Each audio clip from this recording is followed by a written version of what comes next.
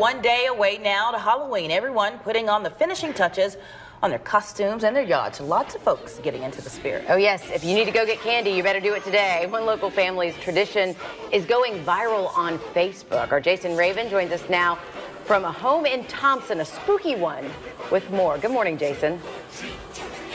Hey, good morning. Well, you mentioned it. I'm in Thomson on Brentwood Drive, and we showed you a little bit about what they have on display here at this home at 6 o'clock. And basically, what they're focused on is focusing on bringing back the, the Halloween spirit, the holiday spirit.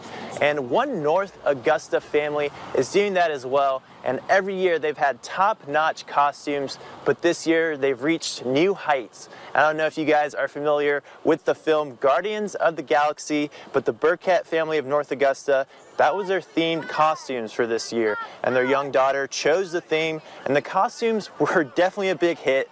The husband, Tim, made a Groot costume that definitely took a while to put together. It's super detailed. If you're not familiar with who Groot is, Groot is that big, tall tree looking guy from the film. And he was just towering over everyone at Jack-O-Lantern Jubilee this weekend, turning some heads. And a video of Tim and his daughter dressed up as Rocket from the film has been making the rounds on social media and has gone viral. But the family says these costumes are just a family tradition we just do it for fun. Like it's just some family togetherness. And I was actually homesick and he was at work and his phone was blowing up and he's like, oh goodness, it's going to be a rough day at work. But it wasn't. It was just everybody, you know, calling to be like, oh, this is crazy.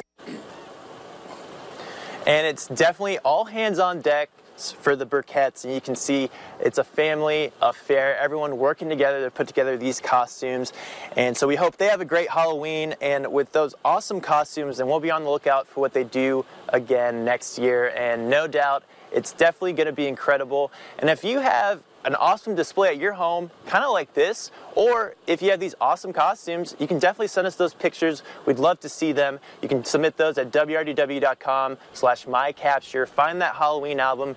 Go ahead, submit those. I'll be breaking out the throwback photos of my old Halloween costumes for social media, so be on the lookout for that plenty of interesting choices I made over the years with the help of my family, but uh, you guys will definitely enjoy those. So send us your pictures. I'd love to see them. We'll share them all over. Have a happy Halloween. And the best ones are the ones that are homemade. I mean, the, the homemade decorations in the yard where you are, and and then uh, just incredible to see what people can do.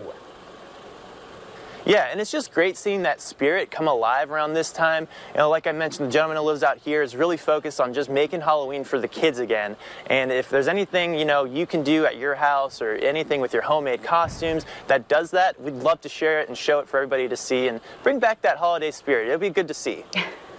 Jason, thanks so much for that live report this morning.